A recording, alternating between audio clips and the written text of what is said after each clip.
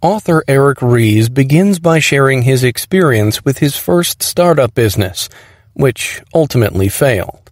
With his startup's failure came the realization that hard work, brilliance, perseverance, determination, and the right product were not ironclad guarantees of success in the world of business, especially in the case of entities promoting innovation.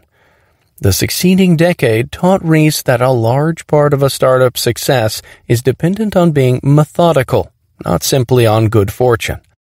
The author then shares the story of his second startup venture, IMVU, which revolved around a virtual world that allowed users to communicate with each other. This time, he and his co-founders decided to adopt an entirely different approach, partly by having a core product that needed fixing, so that they could better determine what their customers needed. The goal was not to overtly ask the customers what they were looking for in the product being offered, but to develop the product in planned increments over time to see how the customers would react. This and other approaches ran contrary to the conventional thinking in running businesses.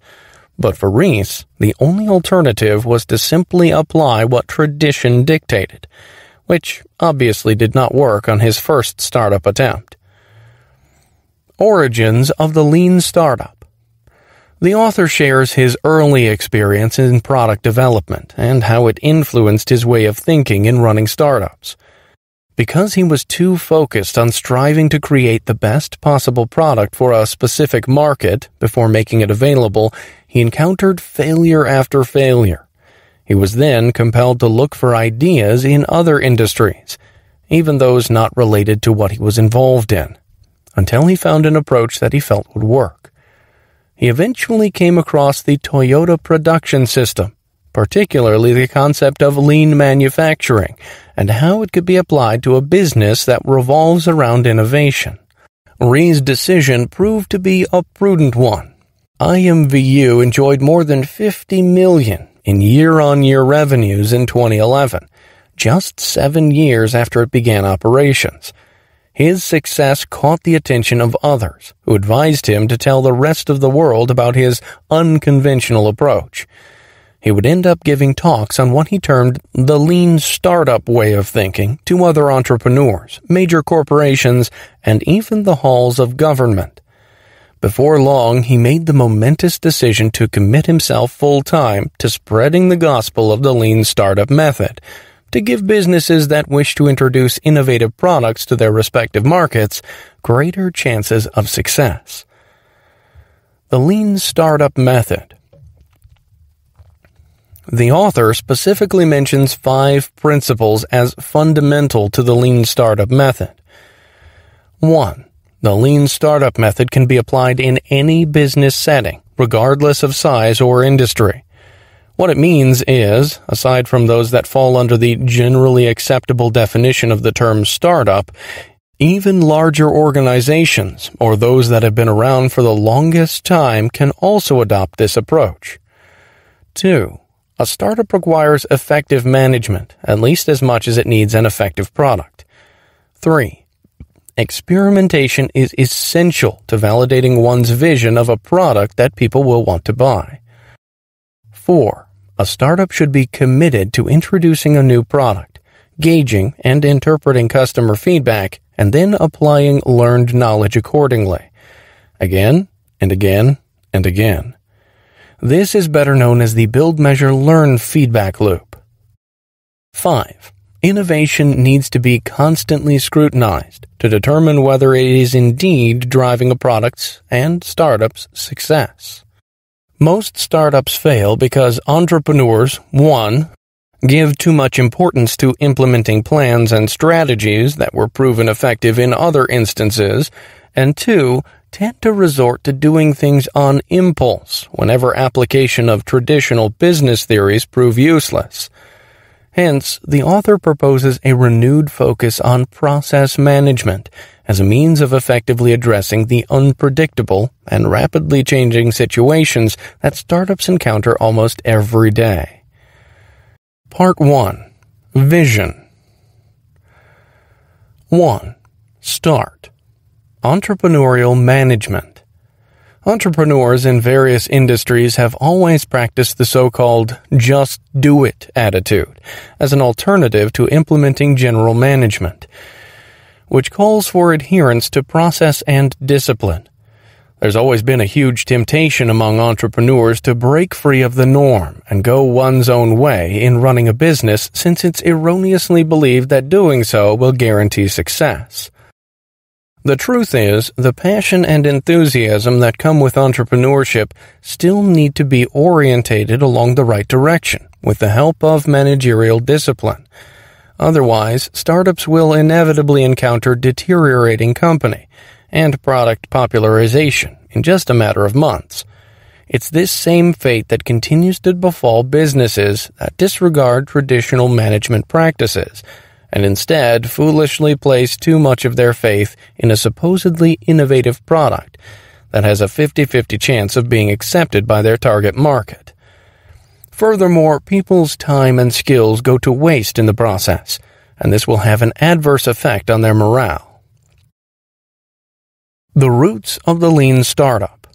The lean startup method is a variation of the lean manufacturing practices pioneered at famed automaker Toyota by Taiichi Ohno and Shigeo Shingo. Among its key principles are fostering of employee creativity, inventory control, and quicker turnaround times. The lean startup method recommends the application of these principles by entrepreneurs would otherwise focus unnecessarily on perfecting a product before launch than on gauging whether they hit their targets. The author first uses the example of Henry Ford's internal combustion engine concept to drive home the point of fine-tuning the engine of growth of startups. The proper functioning of the engine depended on various events happening at precise times, such as the firing of cylinders, and these events depended on just how well the prior tinkering was done.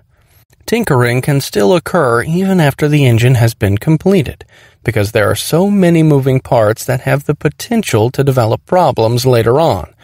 In a similar way, for a startup to succeed, the people behind it need to constantly tinker with their product, operations, and marketing, even after what they're selling has already been introduced to the market. The second approach the author used to highlight the unconventional nature of the lean startup method is comparing the act of driving a car to the act of launching a rocket ship. Driving a car involves making adjustments whenever necessary, throughout the journey, whereas having a rocket ship reach a specific point entails making a series of precise calibrations before it's launched. The majority of startups fail because those behind them unwittingly follow the rocket ship method, planning to the point of going unnecessarily into too much detail and making assumption on customer feedback even before their products are formally introduced to the target market. Because these firms devoted too much effort to preparing for events in advance, despite the uncertainty, they end up without a game plan for dealing with unforeseen circumstances and are therefore unable to adapt as necessary. Under the lean startup method, the build, measure, learn feedback loop allows entrepreneurs to make constant adjustments, not only to their products, but also to their businesses as a whole. Incorporating the build, measure, learn feedback loop enables startups to focus on what they want to achieve, while practically leaving the door wide open for how they will achieve it. In other words, it's okay to take unexpected detours or to reverse course after every wrong turn for as long as the destination remains the same. For startups, the destination is termed as the vision. The strategy is the means of achieving that vision. Lastly, the product is the result of the adoption of specific strategy product, and strategy may change as they undergo fine tuning in the form of optimization and pivot, respectively. Optimization means actually tinkering with the product to be properly aligned with customer wants, whereas pivot refers to a change in direction while remaining firmly rooted in the end goal that needs to be achieved, i.e., vision. Having such a framework in place basically sends the message that a startup is bracing itself for failure during its infancy. But that in itself is not a cause for concern. The road to greatness is laden with failures, and a company should leave reasonable room open for trial and error, for as long as it's willing to fairly scrutinize its own actions and learn from these. 2. Define. Who exactly is an entrepreneur? An entrepreneur is someone who wishes to create a new product or service under conditions of extreme uncertainty Thus, entrepreneurs are not only those archetypal young visionaries who put up their own businesses at home with little to no outside financial backing. This term also applies to more experienced people working in established companies that are abundant in reserve capital. If I'm an entrepreneur, what's a startup? A startup is defined as an institution designed to make a new product or service available, even if there's no guarantee that the said product or service will be well received by its intended recipients. That means startups can come in all sizes, whether as a fledgling single proprietor business, a department within a much larger corporation, or even a non-profit organization. The innovation that startups promote can come in various forms as well. It can either be an altogether new discovery, a new use for an existing idea or product, or even simply making an existing product available to a previously untapped market niche. Whatever the situation, it cannot be considered innovation unless the product addresses extreme uncertainty. And because the outcome of introducing a product is unknown, especially in the beginning, the tools of general management are initially thought to be ineffective and yet some of the tools that fall under that category have a role to play in ensuring the success of startups, despite the prevailing uncertainty. The SnapTax story. SnapTax began in 2009 out of a need to help private individuals pay their taxes more efficiently. The company that hoped to address this need released a product in the form of a software application that promised only a few basic functions. In short, it catered to only a small segment of the total market niche that the company wished to serve. Over time, though, the product evolved into a more comprehensive tool that made filing of income tax returns a breeze for its subscribers. This considerably upgraded iteration was finally launched in 2011, and its first three weeks in existence saw it being downloaded at least 3,500 times. The remarkable thing is that SnapTax was developed by Intuit, a leading provider of finance, tax, and accounting software for small businesses and private individuals. As a large corporation with a 7,000 strong workforce and billions of annual revenues, Intuit hardly fit the traditional definition of a startup. Nonetheless, the team behind the successful app consisted of only five Intuit employees who did not benefit from any outside help from entrepreneurs or any other business gurus. Furthermore, senior Intuit executives allowed this small team greater operational and creative freedom in designing SnapTax, instead of micromanaging from the top. Through the SnapTax example, Intuit showed the rest of the world that bottom-up decentralized decision-making is an effective approach, especially when coupled with the right kind of management and cultivation provided by a company's senior leadership to its entrepreneurs. A 7,000 person lean startup. Intuit itself began considering adopting Eric Ries's lean startup philosophy in 2009, when, after nearly three decades in operation, the company was in the unenviable position of seeing its market share steadily dwindle because of underperforming products. After discussing with Ries founder Scott Cook and CEO Brad Smith, they decided to promote entrepreneurship in all of the company's divisions. Product testing ceased being a one-time only activity, and middle managers were encouraged to give their subordinate employees the support they needed instead of simply analyzing their output. The results of the paradigm shift were telling new products began generating up to 50 million in revenue for Intuit in just under 12 months, whereas it used to take the company an average of five and a half years to reach that same figure. Because the company's senior leadership provided the right environment and the right tools for employees to make innovative and successful products, the latter were able to experiment as much as they wanted until they were able to deliver no less than what their customers wanted. It was a marked transition from the typical rigid top-down business management style that Intuit's leadership had been practicing since its inception, but it allowed the decades-old accounting software giant to flourish. During a period of rapid change, it would not have otherwise survived. 3. Learn. Learning has often served as a convenient excuse for why a business fails to meet its targets. This, in itself, is not a bad thing, but it would be impractical to think that considerable time and resources are not to be spent on a failed venture purely for the purpose of teaching an organization what not to do. Learning, nonetheless, serves an important role by helping an organization identify what its target market really wants. And it does this through actual engagement with customers, not through forecasts and research. It then works towards providing what customers want instead of incorporating a lot of bells and whistles in the hope that these would attract more people. This method is referred to as validated learning.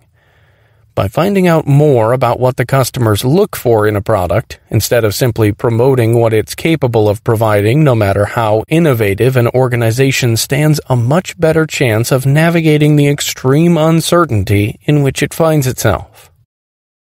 Validated learning at IMVU. Ries uses as his example his own experience getting IMVU off the ground. His team began with incorporating an instant messaging add-on to the application to eliminate the hassle of having subscribers switch IM providers, an otherwise costly step in the part of the consumer, and not just in terms of money. Just so they could maintain their existing network of contacts. This move only made the situation more complicated as the add-on underwent numerous bug fixes throughout the six months Ries and his engineers gave themselves to develop it before its public launching. The first version of the add-on product, which was eventually launched, was terrible, in Ries's own words. Worse, not a single person downloaded it, despite all the time and effort put in by those behind it. To remedy this, the IMVU team went about improving the add-on by interacting with prospective customers. But their progress was still hampered by their insistence on incorporating elements that they thought would make for a satisfying user experience. The customers found these to be too complex for them to navigate, and they insisted on, and ultimately received, a product that was much more user-friendly a standalone IM network that did away with add-ons and any other ancillary features meant to improve compatibility across the various IM clients in use at this time. In other words, it was worlds apart from IMVU's initial strategy, which they spent months working on to bring to life. Ries concedes that the lessons the experience taught them may well have been learned through some other way than trying to make a product that was already perfect, even though they had no way of knowing how customers would respond to it. Value versus waste. Value is used to define something which benefits a customer, whereas anything that does not fall under that classification is a waste. In Ries's example, the waste refers to all that his company put in to make a product which the customers ended up ignoring anyway. If the product had been made available to customers much earlier, then all that waste could have been avoided, and the IMVU team would have had more productive six months. Those six months could have been spent actually engaging with the customers and finding out what they wanted, instead of jamming all manner of advanced but ultimately useless features down their collective throat. Although he did not initially recognize it, the experience also taught Ries that anything that did not revolve around learning what customers want was a waste, and therefore did not warrant inclusion in product development and testing. A startup's success will depend mainly on an actual client feedback dictating the product's final configuration, i.e., validation and not on market research data that become outdated the moment these are published. Where do you find validation? Validation comes not from extensive planning in a boardroom, even with the best experts in the industry to which an organization belongs.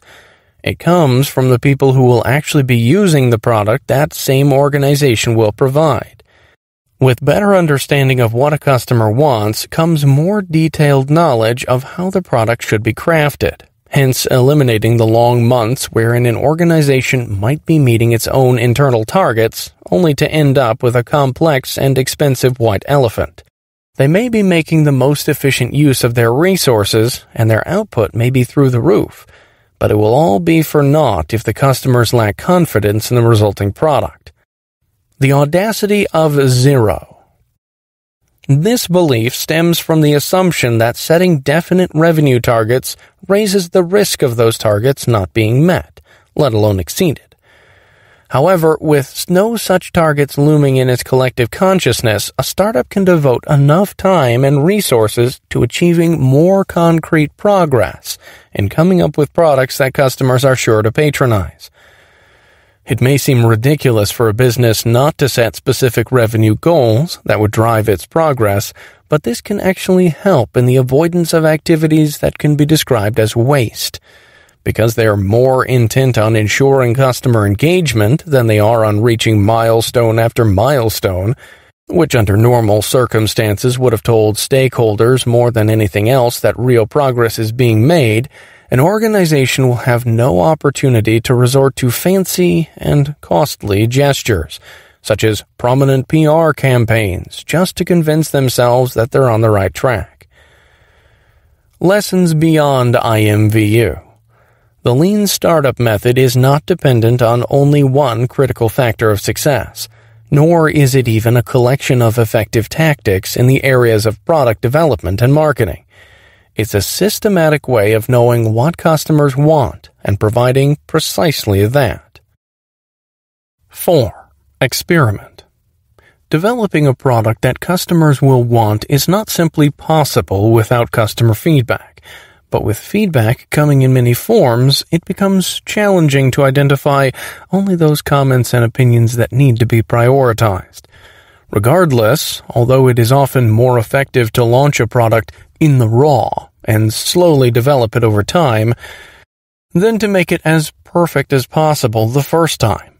This step will not succeed unless there is a committed effort to make good use of valuable feedback.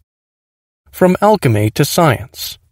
Just as in the scientific method, the lean startup method treats as experiments a startup's many efforts to come up with a viable product, which will then lead to a sustainable business. It begins with a hypothesis, stating what the startup wishes to achieve, and this hypothesis is tested over time with the results gathered and utilized to determine the subsequent experiments to be conducted.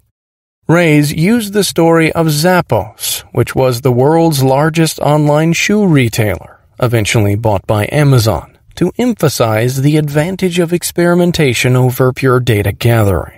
Instead of striving to put up a large online store with an extensive selection prior to reaching out to customers, Zappos founder Nick Swinmurn began with only limited options Furthermore, he personally handled every aspect of customer relations, from taking orders to accommodating returns. Because Swinmurn interacted directly with his customers, his observations painted a far more accurate picture of his target market than what he would have achieved if he had simply conducted a survey among people chosen at random. It also became clear early on that his dealings with customers gave him additional insights on market behavior that he never would have gotten had he resorted to asking people questions that were prepared well in advance. Another example used was that of Caroline Barlin, Director of Global Social Innovation at tech giant Hewlett Packard. Barlin's task was to get more of the company's employees involved in volunteer work in their respective communities However, she faced problems, chief among which were lack of employee knowledge about the initiative and employees deciding, whether deliberate or unintentional, not to apply their work acquired skills in giving back to the community. With this particular volunteer campaign being the first of such an immense size in terms of the number of participants, it would be impossible for Barlin to get it off the ground unless she applied the correct systematic approach. The first step in this was identifying the value hypothesis and the growth hypothesis. The value hypothesis determines whether customers derive value from availing of a product or service whereas the growth hypothesis tests how a product or service will come to the attention of new customers. To know whether employees thought it was worthwhile to do volunteer work, Barlin studied the numbers of employees who signed up more than once, which was a much better indicator than a survey that was likely to yield mostly vague answers. To find out how quickly word about a particular program spread among the ranks, she took a small number of the old hares, people who were more likely to help uphold the company's vision through their actions, and observed who among these were willing to recruit coworkers who could commit themselves to the same program. Even the worst possible scenario for Hewlett Packard could be regarded as a significant learning point. Failure to recruit a significant number of employees for community involvement could imply a problem with the strategy. Though the vision itself, in this case using the company's labor force, numbering in the hundreds of thousands, as effective stewards of corporate social responsibility, should stay the same. A change in strategy will warrant a re-evaluation of the program and a subsequent re-engineering of it so that it will be aligned with the company's vision. It seems a monumental effort, but this period of experimentation could take up no more than a few weeks, whereas the traditional strategic planning process in an organization the size of Hewlett Packard will likely last 10 times longer. An experiment is a product an experiment can be classified as a product because it's the result of the adoption of a specific strategy. Rise uses Kodak Gallery, an online business, to impart this lesson. In contrast to long-standing tradition, Mark Cook, Kodak Gallery's vice president of products, challenged his team to abandon conventional thinking by first identifying a problem that customers have and then coming up with an appropriate solution. Kodak Gallery experimented by first assuming customers would want online-based event photo albums, and then giving them access to a rough prototype processing only rudimentary features. The prototype was not well received because of the missing features, but the Kodak Gallery team regarded the feedback as a sign that their hypothesis was indeed correct, that customers wanted online event albums, albeit with more features. The Kodak Gallery team continued the cycle of gathering customer feedback and incorporating the necessary changes to the album app based on what they had learned. As a result, they strove to keep experimenting with customers to make sure they had a far improved and potentially more successful product by the time they kicked off their marketing campaign. They completely committed themselves to solving a problem, not to devising solutions for problems that were never there in the first place. The village laundry service. Another example Rice uses was that of the village laundry service in India. The village laundry service began as a project of Akshay Mehra, Tide brand manager for India under Procter & Gamble Singapore.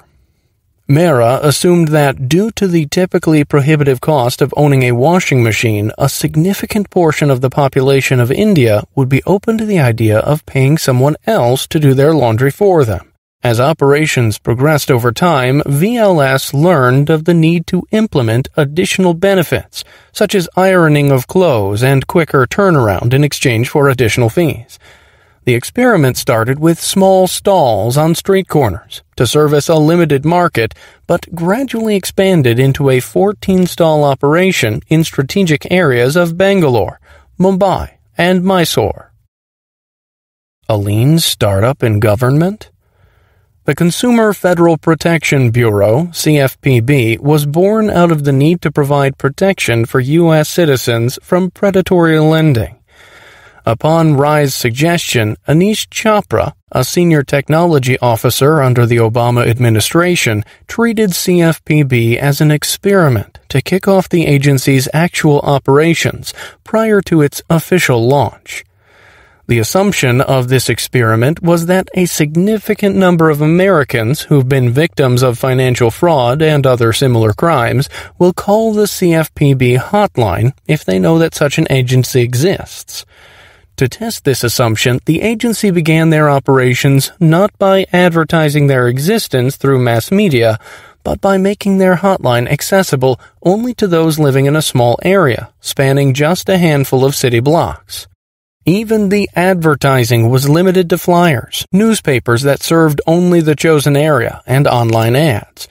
Through this setup, the CFPB was able to test the viability of their assumption while utilizing just a few thousand dollars out of its 500 million operating budget. The CFPB prioritized credit card related fraud at first, but steadily branched out to accommodate the complaints of other similar offenses. Because the agency took the bold move of establishing a hypothesis and testing it right away through actual operations, instead of purely doing plenty of research and planning beforehand, it accomplished its goal of giving ordinary Americans the chance to express their concerns about those who use the tumultuous financial marketplace to take advantage of others. Part 2 Steer How Vision Leads to Steering. As already mentioned, the build, measure, learn feedback loop is at the core of the lean startup method. Each of the three components of the loop has been the focus of different departments of a business organization, depending on their area of specialty. However, for a startup to deliver a successful product, it cannot prioritize only one of the components above all else. The focus of a startup should be on the entire process especially on minimizing the total time it takes for the startup to go through the loop. In this manner, there is less room for waste, and thus more opportunities for generating real value for all stakeholders. Establishing both the value hypotheses, do customers find the product valuable enough, and the growth hypothesis, can the product bring in even more customers, will require making so-called leap of faith assumptions, but that is precisely what experimentation is for. After these two hypotheses have been identified, the next step is to come up with a minimum viable product for testing those assumptions. The MVP is not simply a rough prototype. Rather, it's designed specifically to facilitate a complete cycle of the build, measure, learn feedback loop, while requiring the least amounts of effort and time. In other words, the product must be functional enough to encourage voluntary feedback from customers. Once the startup goes through the entire build, measure, learn loop, it will then decide, based on gathered customer data, whether to pivot and devise a new strategy, and therefore a new product, or to persevere along with a proven course of action. Since the lean startup method affords organizations the opportunity to pivot, if necessary, much earlier than would otherwise have been possible, there will be less waste and a higher chance of delivering a significantly improved product weeks or even months ahead of schedule. 5. Leap. The social network app Facebook has always been an interesting case among startups. Although it was not the first app of its kind, it was, nonetheless, able to garner a significant client base and 13.2 million in venture capital less than a year after it was launched in its most basic form. And it did so without spending anything on traditional pre-launch marketing campaign. The key to Facebook's success can be traced to the willingness of its founders to actively engage with customers as they slowly improved on the product until it became something of tremendous value, with an equally huge potential for growth and expansion. In their efforts to emulate Facebook's success, entrepreneurs behind other startups have become eager to follow the exact same steps taken by Mark Zuckerberg.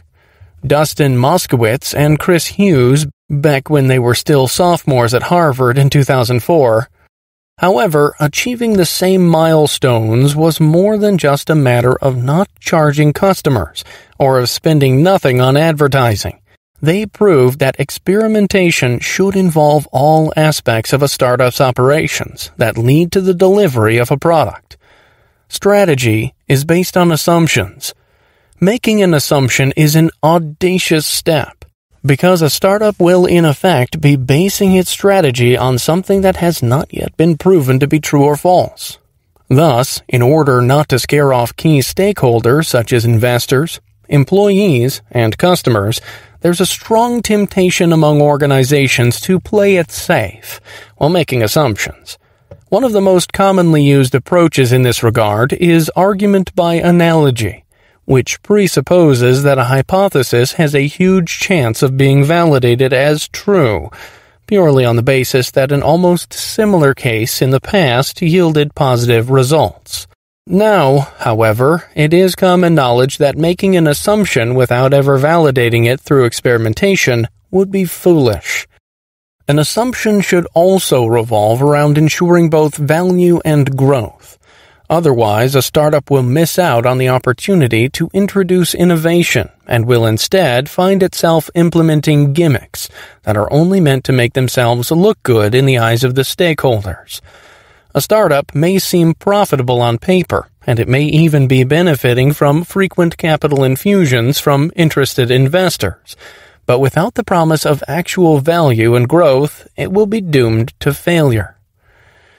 Genchi Genbutsu this Japanese saying may be translated as go and see for yourself, and it's one of the fundamental principles of the revolutionary Toyota production system. In all aspects of business, from manufacturing to human resources, senior managers should make it a habit to base their decisions on comprehensive first-hand knowledge, instead of vague reports from subordinates that stand the risk of being tainted with bias.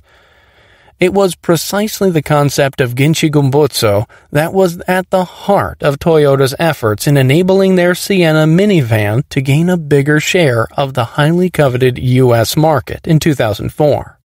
By traveling across all 50 states, visiting small towns and large cities, and interacting personally with ordinary car owners, Toyota chief engineer Yuji Yokoya discovered precisely what Americans looked for in a minivan his observations led to the manufacturing team to focus on incorporating features that guaranteed the occupants comfort, especially during long drives.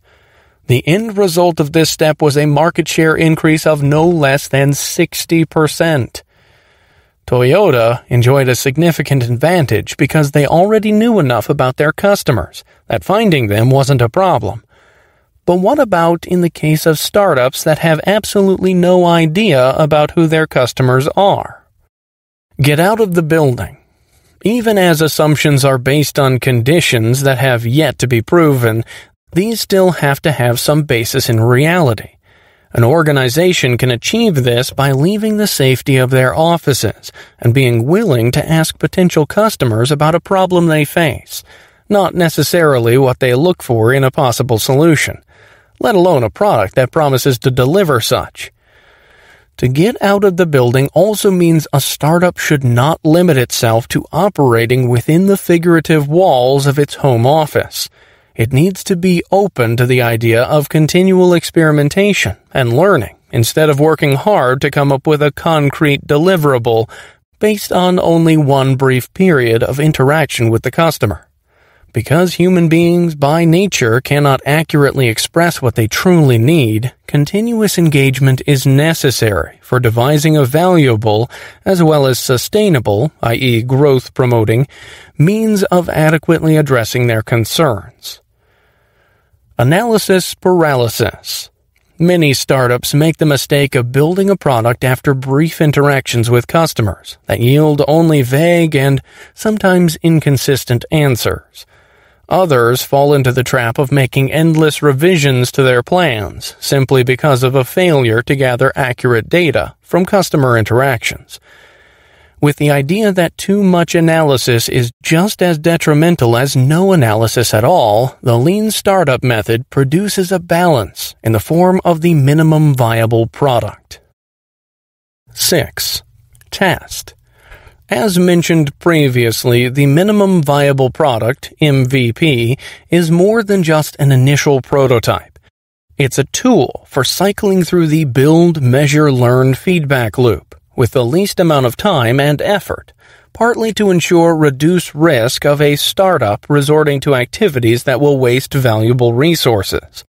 As its name suggests, the MVP is only the first step in the continual learning process in which startups engage, particularly the process wherein business hypotheses are validated through experimentation.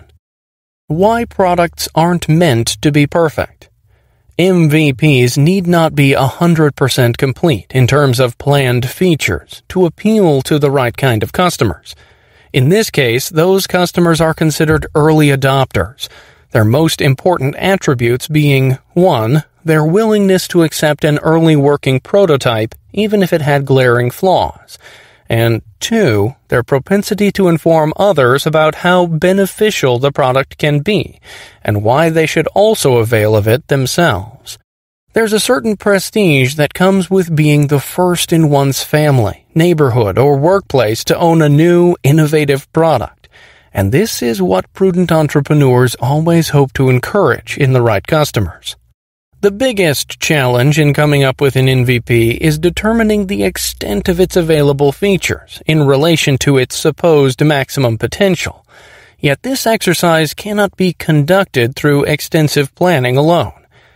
Fortunately, entrepreneurs learn to develop the skill of using their judgment to identify the point just before a product starts to incorporate some trace of excess, which is essentially a form of waste. The video minimum viable product. The story in this example is that of Dropbox, the popular online file sharing app. In this case, the MVP was not the app, but a video presentation made by company CEO Drew Houston, with the purpose of testing his hypothesis that people would want what they were offering once they saw how it could be used. Houston himself hosted the presentation he showed in less than three minutes how anyone could effectively execute file synchronization, which was an issue many people have had difficulty doing on their own, and not just with Dropbox. Once customers realized the value of file synchronization, the list of subscribers who were already interested in the prototype app skyrocketed from 5,000 to 75,000 in just a matter of hours.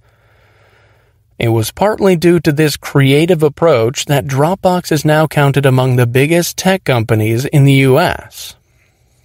The Concierge Minimum Viable Product. The author then discusses Food on the Table, FOTT, a website that helps families prepare meal plans based on whatever's available in the grocery stores in their area at any given time, including items that are sold at discounts. FOTT required an extensive database covering grocery stores around the country, and designing the computer algorithm used for suggesting recipes based upon what is available was a monumental challenge for even the most seasoned programmer. In the beginning, however, FOTT had neither. CEO Manuel Rosso and product VP Steve Anderson instead decided to concentrate their initial efforts on just one homemaker to see how their prospect market generally behaved. FOTT was a high-tech offering, but Rosso and Anderson adopted a low-tech approach to engaging their first customer.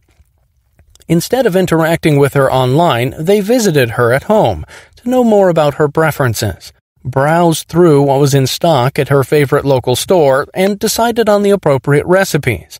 They then handed her a shopping list and menu suggestions, and in return, she would give them feedback, as well as a check for $9.95 for their services. This whole cycle went on week after week. Traditional business thinking discourages such an inefficient use of resources, but the exercise gave the FOTT senior managers the knowledge they needed to develop their service into the comprehensive online meal preparation platform they envisioned it to be. They repeated this VIP treatment with a few other customers until the number of interested prospects grew to the point that made such treatment impractical. The FOTT approach worked because the people behind it concentrated on scaling up proven practices instead of devising a tool that they only hoped would be effective. Pay no attention to the eight people behind the curtain. Technologists Max Ventilla and Damon Horowitz came up with the idea of a search engine that was similar to the ubiquitous Google, except that it was designed to answer only subjective questions such as what's a good place to go out for a drink after the ball game in my city? Obviously, automated technology will fail to answer this because it cannot accurately account for the preferences of one living, breathing human being, let alone billions. The duo came up with five prototypes that ultimately failed to engage their prospects. The sixth prototype, which they named Aardvark, entailed the employment of eight people, who served as the brains of the operation. However, as both Ventilla and Horowitz intended, the only thing the customers knew was that they were asking questions to an actual search engine with sophisticated artificial intelligence, not to a group of eight people who did all the work from identifying the customer's respective social circles to knowing where each person in each circle lived, or what they did for a living. Because the customers freely participated in the exercise, the Aardvark co-founders were able to validate their hypothesis that such a service was not only viable, but would also be well received by people once it was launched. The role of quality and design in an MVP. Since an MVP is often restricted to just one or a few basic features and functions, the challenge lies in building just enough that customers would want what's being offered, with the exception that more would be provided. It's a humbling experience for entrepreneurs who have always been confident in their own technological brilliance to fight the temptation to add all sorts of bells and whistles to a product just to draw in as many customers as they can on their first try. By striving to provide the highest possible quality at the earliest possible time, a startup risks incorporating features that customers might not even deem beneficial. Because a startup has no idea yet who its regular customers will be, it cannot simply rely on the appeal of high quality to garner a steady growing user base. Thus, an MVP needs to be designed in such a way that it can help a startup determine who its customers are, as well as what features will provide value to those same customers. After all, a startup's goal is not to provide high quality product, but to use innovation to establish a sustainable way of doing business. Speed bumps in building an MVP. Many entrepreneurs are reluctant to field MVPs to their respective target customers out of fear that their original ideas will be more likely to be copied and improved upon by established competitors. Fortunately, a startup can remedy this by cycling through the build, measure, learn loop as quickly as possible and by being more proactive in engaging customers. Another possibility that causes entrepreneurs to hesitate fielding MVPs is the prospect of failure. But that's part of the reason MVPs are built in the first place. No one expects a product that can do it all when it only has a limited selection of features. As already mentioned, an MVP, like other steps in the lean startup method, is merely an experiment and not a startup's end goal. An MVP is meant only to test whether certain assumptions are true, not adequately solve a problem that customers have. Though this is precisely what happened in very rare instances involving MVPs. From the MVP to innovation accounting, because a startup is not bound by traditional metrics, it can be difficult to track progress in every cycle of the build, measure, learn loop, and to know whether a step that's been taken will bring a business closer to achieving its vision. It becomes even more challenging to measure progress when repeated failures compel a startup to pivot and adopt a new strategy again and again. However, successful entrepreneurs know that being persistent in applying their learnings can ultimately yield viable innovative products, even if the early numbers indicate otherwise. Innovation accounting is the means by which a startup's progress can be measured more accurately as it applies the lean startup method. In any case, even if fielding an MVP does not elicit the desired effect, it is no reason for an entrepreneur to throw in the towel. A failed MVP is merely a sign that a pivot is the next logical step a startup should take towards achieving its vision. 7. Measure.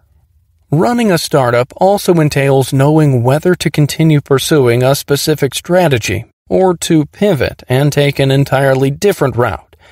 Unfortunately, human nature compels people to be optimistic, even when the situation seems bleak.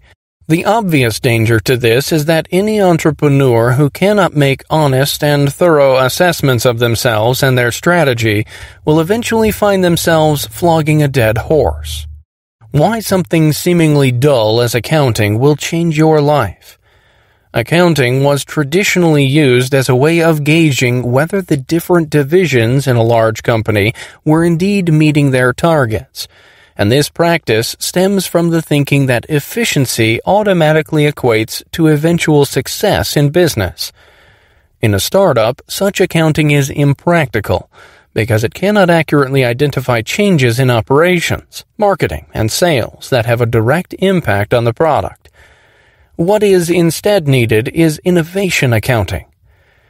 Innovation accounting refers to the steps taken by a startup to objectively validate whether they're on the right track towards providing value and achieving growth. Hence, there needs to be a quantitative financial model derived from leap of faith assumptions about what the business will look like once it's grown to the point that it is successful in the market. The advantage is this kind of accounting may be used regardless of the size, industry, and objectives of the startup. How innovation accounting works. Three learning milestones. There are three steps to innovation accounting. 1. Establish the baseline. The startup must put together a minimum viable product for testing its assumptions by engaging customers out in the real world. Among other things, the MVP will help the company identify its present status, which is important to monitoring progress. It also makes sense to test the riskiest assumptions before all else this is because assumptions of secondary importance cannot be tested until one assumption that will determine whether a product will lead a sustainable venture has first been validated. 2. Tune the engine. This step entails determining the drivers of a startup's chosen growth model, improving those drivers, and testing the enhancements through experimentation. When a startup makes an assumption on what will get its product accepted by people beside its early adopters, the corresponding driver of growth will then be fine tuned and tested to validate the assumption. The product is merely improved upon in small increments over time and not all at once, although the latter option also has the potential to drive up the customer base. The positive effect is almost always brief and therefore not a plausible indicator of sustained growth. 3. Pivot or persevere. Whether these are sales figures, new customers, repeat customers, or any other quantifiable metric, the resulting numbers that represent a startup's growth drivers following testing are compared to the baseline. If, after testing of a product, a growth driver enjoyed an increase over the baseline, no matter how small, it's an indicator of progress and is therefore reason enough for a startup to continue implementing its chosen strategy, little by little. On the other hand, if testing reveals no progress at all, that means the strategy is flawed. It's thus time to pivot and adopt a new strategy. After a pivot, the company once again cycles through the three key steps. It establishes a new baseline as part of its new strategy, tests a chosen growth driver, and decides whether to again choose a new strategy or to continue along its present path, depending on what it has learned. Innovation Accounting at IMVU. The three key steps in innovation accounting were applied in the development of the highly successful IMVU, as Ries himself explains. However, the decision to apply the steps was not made by the startup's founders until several months down the line, when they had already incorporated numerous additional features but were only enjoying a disproportionately small increase in subscribers. Ries admits that their less than stellar performance in the market can be traced to their insistence on focusing only on positive feedback throughout the course of determining which improvements to the product were necessary. As a result, they ended up with a product that was easier to use, but not necessarily something that more people would want. As a last resort, IMVU's founders decided to finally engage customers without being selective. This pivot allowed them to dispense with adding high quality features and instead provide a product that was more aligned with what customers were looking for. The related experiments they conducted in the aftermath of this pivot were all productive in the sense that these stimulated the main growth driver the company decided to focus on. Customers who had initially tried the product for free but then decided to avail of the paid version that promised greater functionality. Optimization versus learning. There's a huge temptation among businesses, startups included, to rely on the so-called vanity metrics to assure themselves that they're making progress when they're actually repeatedly falling short of the goal of building a sustainable venture driven by innovation.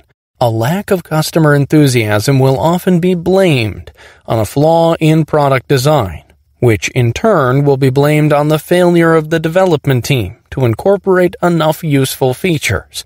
However, the more critical flaws are in the company's decision making process.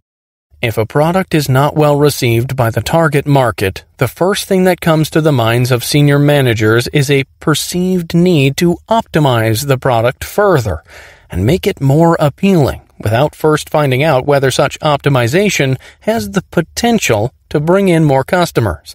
The correct approach involves getting to know the customers well enough to understand their preferences and identifying factors that contribute to the growth engine. Factors that do not often fall under traditional success metrics, such as sales figures, advertising expenses, and departmental efficiency. Vanity metrics, a word of caution. Positive vanity metrics paint a favorable picture for stakeholders, but do not necessarily indicate that the business is achieving any progress towards sustainability. Ries once again used IMVU as an example to show that traditional growth metrics like increased revenue, new customers, and return on investment simply tell the story that a business was able to make money during a specific period, but was not necessarily learning anything new as far as the product development was concerned.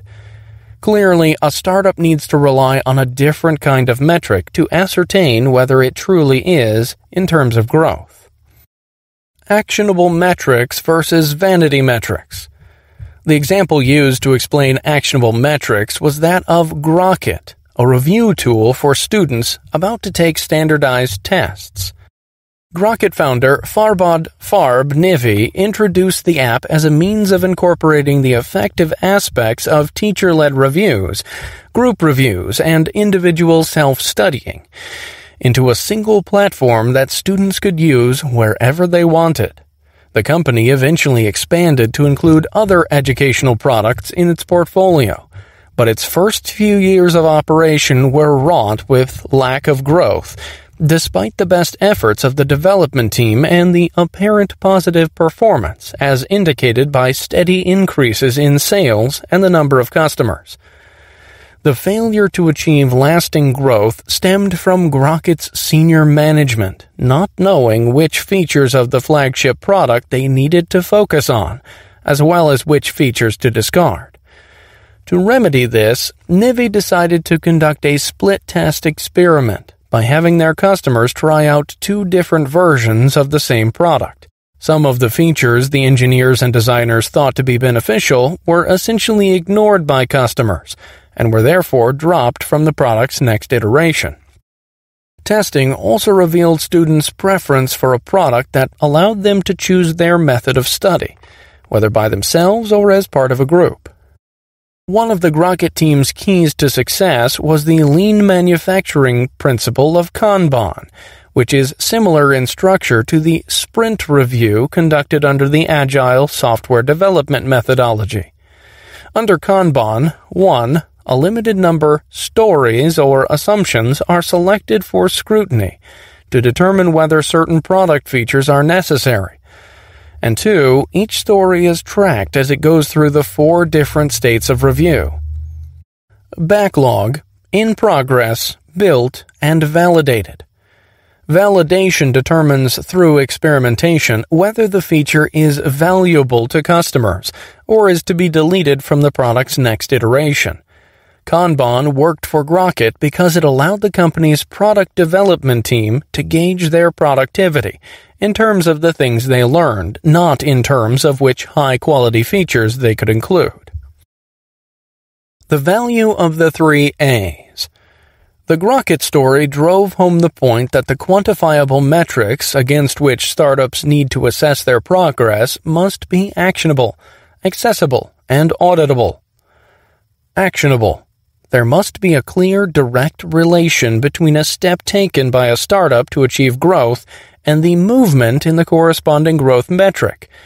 Otherwise, a business will risk adding new features or investing in increased advertising only to end up with little better than before.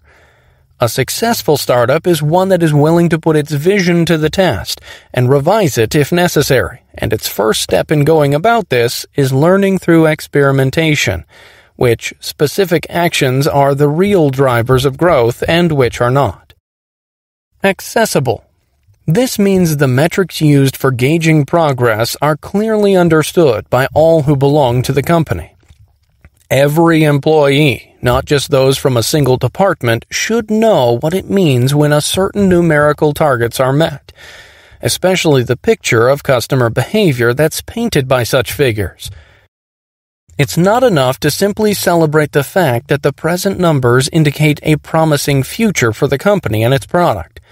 The company should also know the real stories behind the numbers and exert enough effort to find out which actions on its part have had a direct impact on those stories, especially with regard to fostering growth. Auditable. Whatever data that have been gathered must be verified to see if these have any factual bases.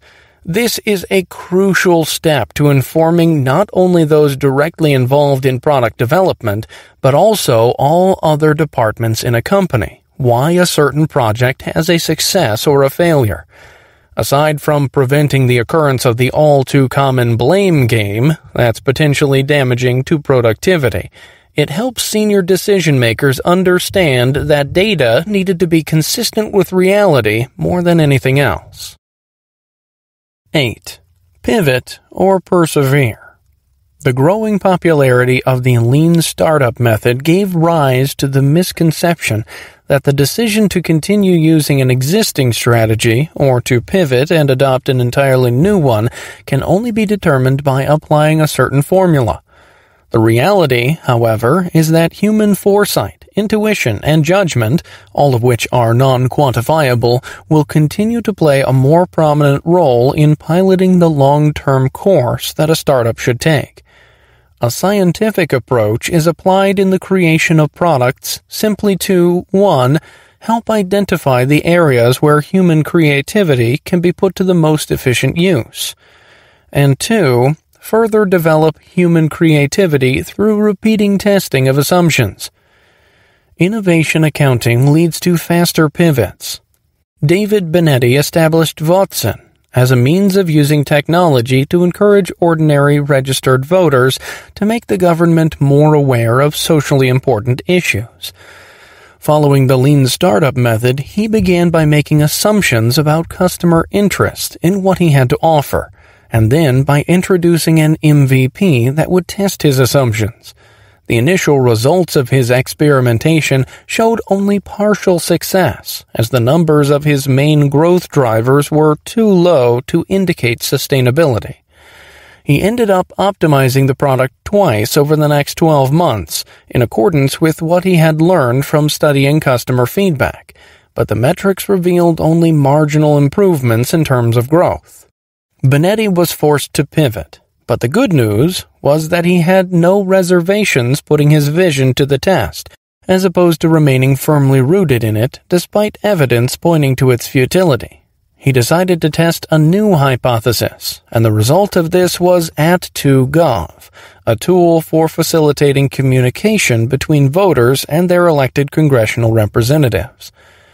The MVP for At2Gov took only four months to build, and the resulting numbers were significantly better overall than those of Votizen's most recent iteration.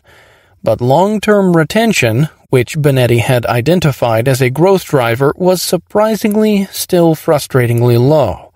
Such a discouraging result told Binetti that his idea had little to no potential of earning much from new customers, and this would have forced him to infuse additional capital into advertising, just to keep the business afloat. In effect, making the business grow through more money being invested instead of on its own. Thus, yet another pivot was in order. The next assumption Binetti wanted to test was whether larger organizations were more effective than ordinary individuals in getting the right message across to Congress. The resulting MVP was released in just under three months, it had the functionality he promised the organizations he talked to, but the resulting sales fell far short of his expectations, hence disproving his hypothesis. Binetti pivoted again, this time coming up with a product that would help registered voters find amongst themselves people who were willing to bring socially important matters to the attention of Congress. The MVP took just one month to build, but the initial results assured its designers that the service was not only a hit in the market, but also had the potential for lasting growth. It would be foolish to surmise that the success of the final product was simply the result of the startup spending less time putting it together. What it simply means is that the startup had more in terms of the new learnings it could always fall back on for each time it pivoted established a different baseline, adopted a new strategy, and built a new way of testing its assumptions. A startup's runway is the number of pivots it can still make. The runway refers to the capital that a startup has for facilitating pivots. Just like an airplane, a startup that runs out of runway before lifting off will never be able to fly. Extending the runway can be done either by raising additional funds or by cutting costs. The latter is the more likely option to be pursued by startups that have very little access to outside capital. For such startups, another alternative is to go to each pivot in less time, which is still practical for as long as validated learning and innovation accounting are diligently practiced. Pivots require courage. Fear of failure and of negative reactions from customers is one of the biggest impediments that prevent startups from making the critical judgment call to stop what they're doing and contemplate a change in their strategy. It's this same fear that prevents them from even testing their assumptions before releasing the finished product. When fear becomes an impediment to a startup's complete cycle through the build, measure, learn loop, it raises the risk of persevering until there won't be enough capital to fund a productive pivot. Entrepreneurs must learn to embrace failure. They must also remember that their goal is not to make the MVP as superb as possible, but to use it merely as a tool to help guide them along the correct course of action. As in the example of the founders of Path, now a highly successful Silicon Valley company, they lost no time implementing a new strategy following the inability of their MVP to gain enough subscribers in their target market. Their new strategy was deemed by an already skeptical tech press as another huge mistake, but the experimentations they conducted in line with this new strategy actually attracted far more customers than what their biggest critics expected. It was a prudent move on the part of Path's founders, and the company has grown to the point that they received and turned down an offer by Google to buy them out for 100 million. The pivot or persevere meeting. The decision to pivot or persevere is often emotionally charged because it compels those running the startup to thoroughly reevaluate a vision that they've always been confident about. Thus, it's necessary for the business leadership and product development departments to hold regular pivot or persevere meetings so as not to allow emotions to influence the thinking of those who will make the critical judgment call. The purpose of each meeting is twofold. One, to collate updates on optimization efforts and feedback from customers, and two, to compare achievements with expectations. With such data being presented, a startup will be more certain of where it stands in relation to its baseline, and thus be better able to know whether to adopt a new strategy, regardless of whatever positive things it has achieved thus far, or to continue along its present path. Failure to pivot. A startup might be enjoying success in the form of metrics, such as sales and customer base figures, going well above expectations that it may not realize that it's not making any real progress in terms of generating growth. It becomes tempting to stay the course, since money is being made anyway, but it pays to look beyond the things that simply make anyone feel good about themselves, and to thoroughly scrutinize whether the growth engine is indeed moving forward. The key here is for entrepreneurs to never lose sight of the need to keep on experimenting, even when everything seems to be going well. This way, should there ever be a need for a change in strategy, it will be identified early on instead of much later, by which time a startup will have likely already committed considerable amounts of resources into what's essentially waste. A catalog of pivots. A startup is not likely to be limited to making only one type of pivot throughout its existence. The following are just some of the different types of pivots that startups are likely to encounter. A zoom in pivot a product evolves from one feature found in an earlier product. Zoom out pivot. This is the reverse of the zoom in pivot. A product ends up as just one feature in a newer product. Customer segment pivot.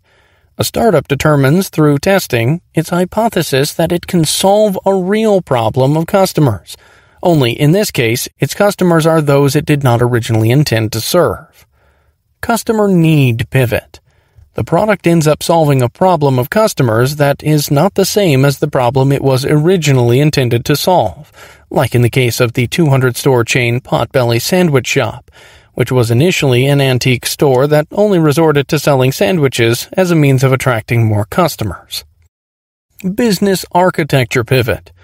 A startup switches from a high margin, low volume, i.e., business to business or B2B sales, to a low margin, high volume, i.e., consumer market, business architecture, or vice versa. Engine of growth pivot. A startup adopts a new strategy for achieving long term sustainable growth. Channel pivot a startup decides to make its product available to customers through a distribution channel not normally associated with the product. This is done on the yet to be proven assumption that doing so will be more efficient and thus help reduce costs and cycle times. Technology pivot. A startup employs a manufacturing or development technology besides that which is typically used on an existing product or solution. The decision to make this pivot is influenced by the hypothesis that a change in technology will lead to superior product performance and or price. A pivot is a strategic hypothesis. A pivot is more than a necessary change in approach. It's a way of testing a new assumption when an earlier one has been found to be false.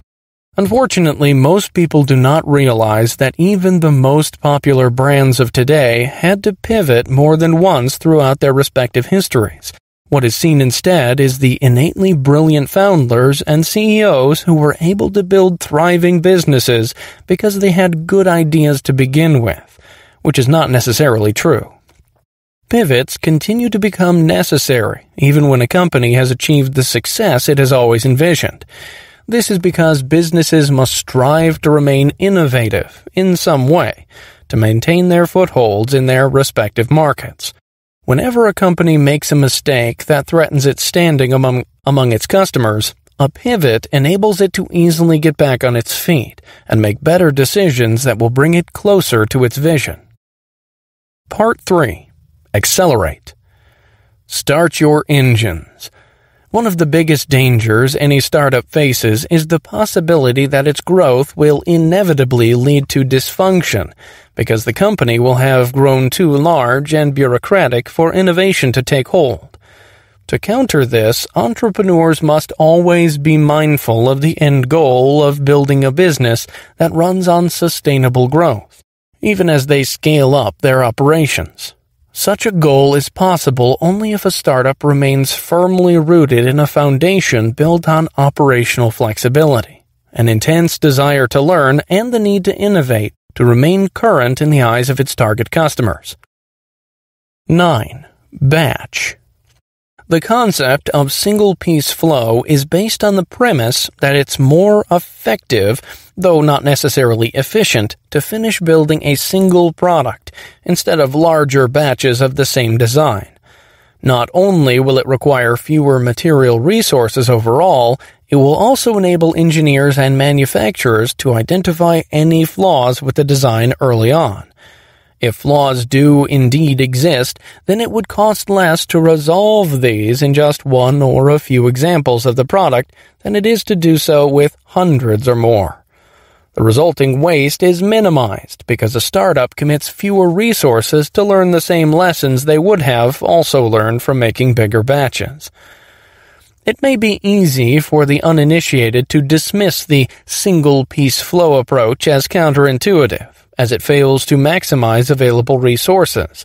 However, it is this same approach that has been practiced at Toyota since its inception, and it has enabled the manufacturing giant to survive in a sea of mass producing competitors until it became the world's largest automaker in 2008. Small batches in entrepreneurship. Ries often relates his experiences with IMVU as opportunities to put the single piece flow concept into practice. The company's engineers and designers closely coordinated on developing features to be tested on customers, coming up with as much as 50 new updates per day on average. Subsequently, whenever they received feedback from customers, the two teams worked together to identify defects that prevented more customers from signing up. This cooperation also had the benefit of preventing one department or the other from incorporating additional features that tried to conceal the identified defects, or worse, would only lead to more problems, i.e., additional mistakes that would be more difficult for the business to address, mainly because of the prior unresolved defects with the priority on fixing problems as they come instead of on adding quality features that customers might want, a startup will achieve true productivity each time it cycles through the build, measure, learn loop. Small batches in action. Ries then relates the stories of two different examples. SGW Design Works, which built a sophisticated yet portable X-ray system for military and law enforcement use for detecting concealed explosives out in the field, and School of One, an educational platform that prepares customized tools for accommodating the learning needs of each student, even in a large classroom with many students. Both ventures became highly successful and even garnered some praise in the press because the entrepreneurs behind these products strove to limit batch size to better identify and solve problems with every iteration of development. The large batch death spiral. Businesses that have become rigid followers of tradition often fall into the so-called large batch death spiral. because a production batch can be as large as a business wants it to be. Cost and manufacturing capability are the only real limiting factors that determine the maximum quantity of examples to be produced.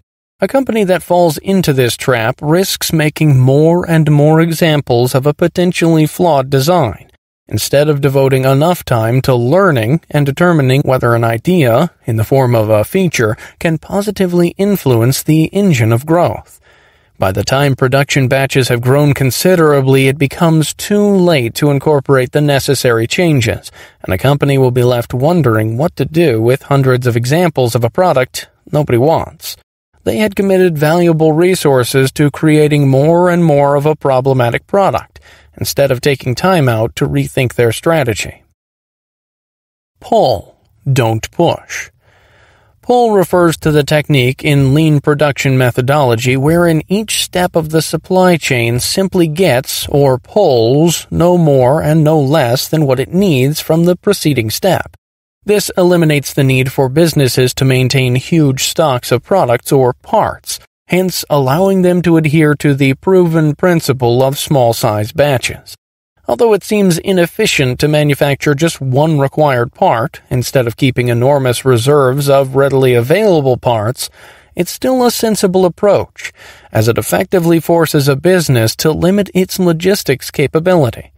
This will in turn limit potential product excess that could easily become waste, like on the case of products that become less popular over time in the market due to obsolescence. 10. Grow. Regardless of product, business model, or customer segment, businesses around the world have been struggling with growth, or rather, lack thereof, in the conduct of their operations. It's relatively easy to achieve initial revenue targets and have a customer base willing to offer constructive feedback. However, these and other early performance metrics do not really indicate that a business is on the right track towards true sustainability i.e., no infusions of capital from internal and external investors just to drive growth. Where does growth come from? Simply speaking, sustainable growth is the influx of new customers as a direct result of the actions of the past customers of a certain product. Whenever past customers raise other people's awareness of a product, either by overtly talking about its value or by using it, they entice some of those other people to become customers of the same product themselves. Successful startups are able to achieve this after they've conducted experiments to determine the qualities a product should possess to guarantee growth of the business without the need for non-revenue sources of capital. The three engines of growth. Perhaps the biggest challenge a startup faces when it finally has a product out on the market is determining which aspect of the product needs to be further developed before all else. The solution is not uniform across organizations, and the people behind each business need to decide wisely on which approach to take, lest they risk creating more waste by spending more time than necessary trying to solve every perceived problem.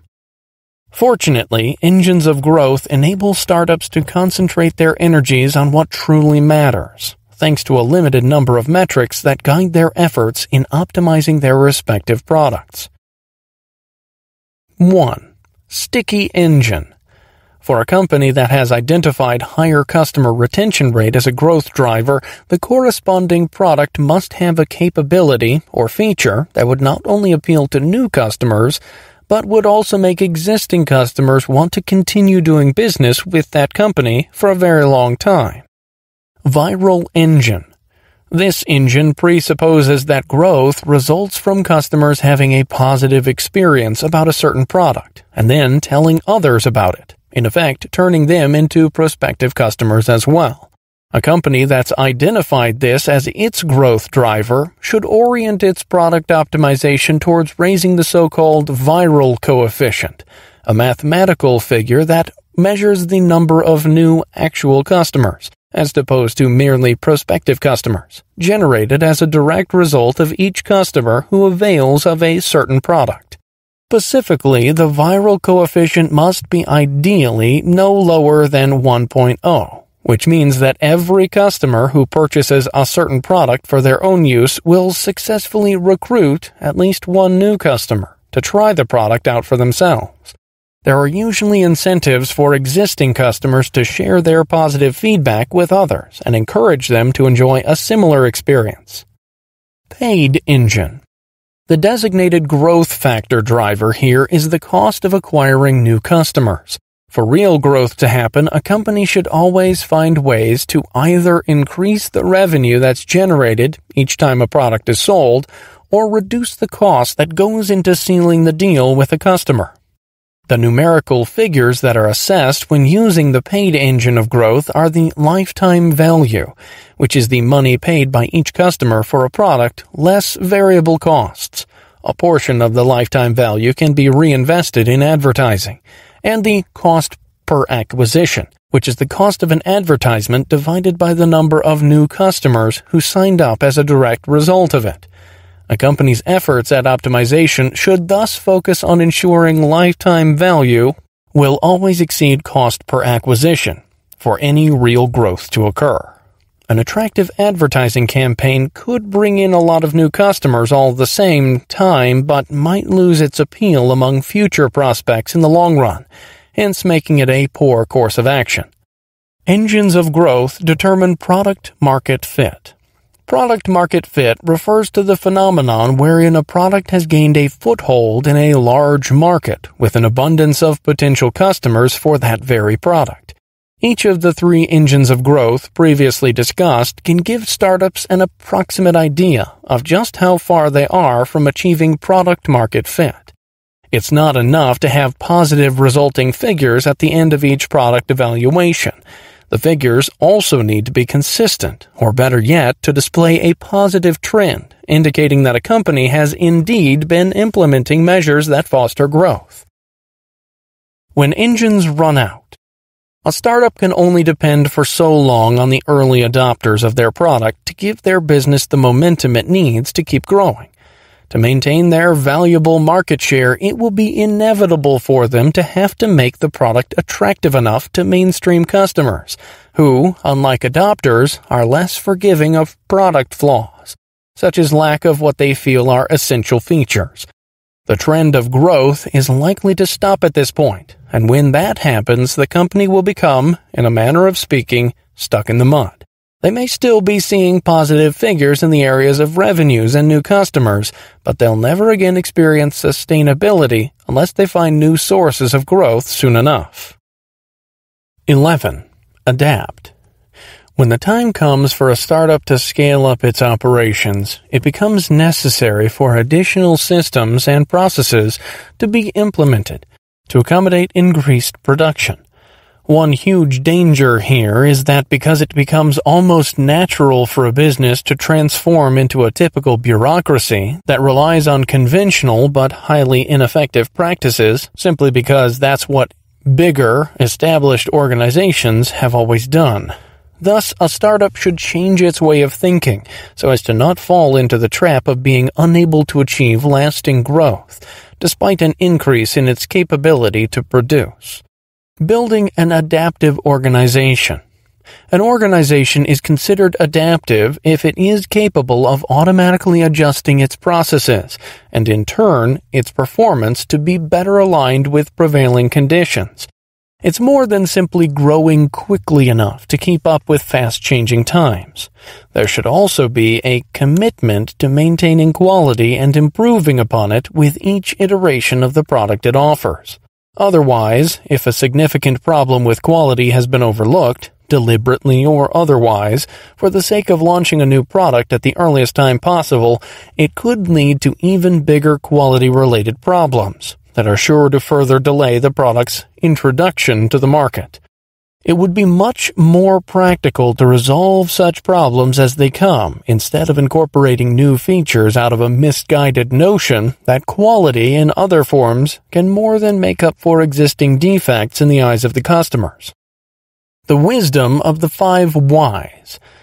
The lean startup method gleans another important practice from the Toyota production system the need to ask why five times Asking why at least that many times enables an organization to delve deeper into glaring problems that can impede their rate of growth. Instead of simply taking each problem at face value, an organization must look into the underlying problem caused that problem and the underlying problem before that, and so on further up the line. By identifying and resolving the root cause, instead of simply focusing on the subsequent problems, an organization can, in effect, solve multiple problems all in one go. It can commit less time and fewer resources overall to its optimization efforts, thereby avoiding the risk of over-engineering what is likely to be only partially successful. The Curse of the Five Blames the five whys approach has a 50-50 chance of assuming the form of its counterproductive variant, the five blames. When an organization's performance is less than satisfactory, the people involved are often so frustrated that they'll delve deeper, not to identify and solve the problem and the root of it, but simply to find out who among them is most at fault. Organizations should remember that problems are most often caused not by people, but by flawed systems and processes. Hence, organizations need to be more tolerant of human error, especially for the first few times certain mistakes are committed, and to strive to implement measures to prevent those mistakes from happening again. Measures need neither to be too radical nor too large scale to be effective. What is important is that these measures adequately address the root causes of problems that could prevent the organization from achieving sustainable growth. The five whys in action. Ries used the example of IGN Entertainment, an online media publisher that focuses on the video game industry, because they were intent on achieving innovation and accelerating development of new products they became a bit too eager to adapt the practice of asserting their progress without understanding the true objective of the exercise. The company thus ended up making the following mistakes. 1. Implementing the five whys approach without first explaining its purpose. 2. Tackling a laundry list of problems instead of concentrating only on a few and three, limiting the number of attendees in each discussion to the point that many key people who were connected to the identified problems were inadvertently left out. After consulting with Ries, IGN decided to give the five whys approach another try. The company chose a seasoned senior manager to act as a five whys master, who would facilitate each discussion. As a result, the second five whys attempt, and all that followed, were more productive. The IGN experience proved that it wasn't just about preventing mistakes and solving technical problems. It was also about fostering a common understanding among the different departments in an organization to ensure continued innovation. Adapting to smaller batches. The chapter comes to a close with the story of QuickBooks, the ubiquitous personal accounting software. Intuit, the company that provided the software, went through two agonizing years of failing to achieve liftoff in the market because of one, failure to appreciate customer feedback and to work on it, and two, inability to disregard traditional but ultimately useless company practices. Intuit finally achieved notable progress beginning in the third year since the release of QuickBooks this was partly a result of deciding to resort to smaller batch sizes and faster cycle times to more effectively conduct experiments and elicit responses from customers as often as necessary. Even engineers who did not normally meet with customers face to face suddenly found themselves doing precisely that in order to learn what they needed to do to improve the product's usability. The end result is a product that is now somewhat of a household name in the area of personal accounting software, and it's become so popular that even new updates are made available for download every year. 12. Innovate. Even as startups become established companies in their own right, like their bigger, older competitors, they should continue to possess the ability to innovate and achieve sustainable growth. The challenge lies in achieving those two prerequisites, even as they strive to maintain market share by meeting the needs of existing customers. How to nurture disruptive innovation. Successful startups are themselves products of structure, Although structure is not necessarily a guarantee of success, the lack thereof can prove disastrous. The three structural attributes listed below are considered crucial to the success of innovation teams within larger organizations. Scarce but secure resources. The available capital is limited, but every last penny has a huge chance of being put to the very best use. Independent Development Authority. An innovation team must be given an island of freedom in which to develop and experiment with the aim of achieving true learning and growth, not simply of gaining the approval of stakeholders. A personal stake in the outcome. Entrepreneurs are more motivated to take risks and commit their resources to validating yet to be proven assumptions if they feel they're given enough credit for being the main authors of successful innovation. Creating a platform for experimentation. An innovation team working as part of a larger parent organization must be able to conduct its experiments without fear that the parent organization will interfere with the former's efforts. This fear stems from the possibility that a smaller team's often radical means of testing their assumptions can somehow adversely affect the parent organization's standing in the market. A parent organization is therefore likely to engage in self-defense by shutting down certain projects at the first sign of trouble. And this includes projects that have the potential to bring about lasting growth.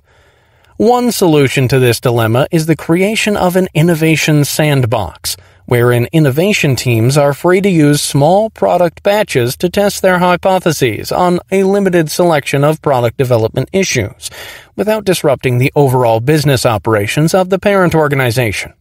In fact, everything done within the context of the sandbox does not require the prior approval of senior management for it to be implemented, hence giving the innovation team greater freedom of movement and allowing them to focus on ensuring validated learning. Cultivating the management portfolio. A recurring problem among established companies is their failure to allow innovation to take root in their operations. Even if an innovator has been given the tools to bring about a commercially successful product, chances are that some innovator will be put to task making that product even better instead of creating new products that have at least as much potential to be successful among customers. One way of avoiding this is by giving innovators in a company full responsibility, as well as some form of corresponding recognition for innovation accounting, which also includes the ability to ensure effective validated learning. As entrepreneurs, they are also responsible for bringing the results of their experiments into the larger parent organization, where these will be further optimized by a different team, with the purpose of attracting a mainstream market beyond the early adopters. That last part is no mean feat, for it often implies going against the time-honored practices by doing something most people would deem too audacious. But it needs to be done if bigger companies have any plans of achieving sustainable growth through innovation. The scientific approach promoted by the lean startup method helps allay the fears among senior company leaders who wish to play it safe by relying on what has proven itself time and again, an eagerness to regularly venture into the unknown and to experiment results in more knowledge that can be used to come up with products that solve real problems of real customers Furthermore, this could be achieved in such a way that it does not put an entire organization of multiple divisions at risk. Last, cultivating the management portfolio means placing less importance on being efficient and greater importance on achieving validated learning. The goal is not to be able to produce and to gauge results faster and faster every time. It's to cycle through the build, measure, learn feedback loop as quickly as possible. The lean startup method proposes a new way for businesses to run their operations in the 21st century and beyond. It's not about producing more, it's about using creative thinking to provide valuable solutions to real problems. The principle makes a bold move by debunking the same general line of thinking that has all but dominated business management since the early 1990s. As has been proven countless times since then, efficiency is not the only solution to many of the problems customers have. It thus becomes necessary to go out of the confines of one workplace to directly interact with the market to know precisely what it needs, and then actually work towards providing an adequate solution. The ultimate objective is not a product that performs as advertised, but a business that can continually adjust itself to meet people's changing needs. Perhaps what is most remarkable about the lean startup method is that it can be understood and practiced by anyone, regardless of their role in an organization. The knowledge it teaches is not exclusive to senior managers, nor to those few individuals who seem to have been gifted with technological brilliance. It encourages even the most junior employees to use their own creativity and potential to question the status quo and find out how they can make innovative working solutions for people. It empowers employees by giving them a unique opportunity to participate directly in ensuring the company's sustained growth, instead of having them take on seemingly mundane tasks that have no significant impact on that same growth. Employees become more confident in themselves and in their ability for as long as they know they're working towards providing something of real value. It must be understood, however, that the lean startup method is not a rigid step by step process that's to be followed to the letter. It simply provides a guide for organizations to effectively test their assumptions in as less time and using as few resources as possible.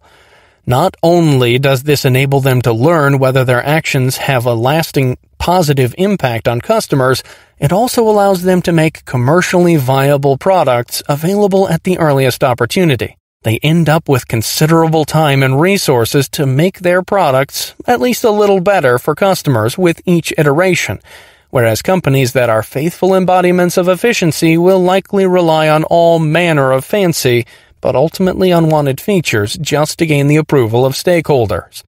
The lean startup method encourages everyone to challenge conventional thinking and to be more curious about the things they do, as well as the world around them. This is because it is more practical to investigate further to know why some measures work and why others don't, than to simply either credit success to sheer luck or give up at the first sign of impending failure and use the cliche of lessons learned as an excuse not to exert any more effort. People would be doing themselves a great disservice by refusing to make the best possible use of their creativity and their ability to experiment and innovate. Without these attributes, we would essentially all be automatons that are trained to just keep making greater quantities of things that will ultimately have only temporary and negligible value.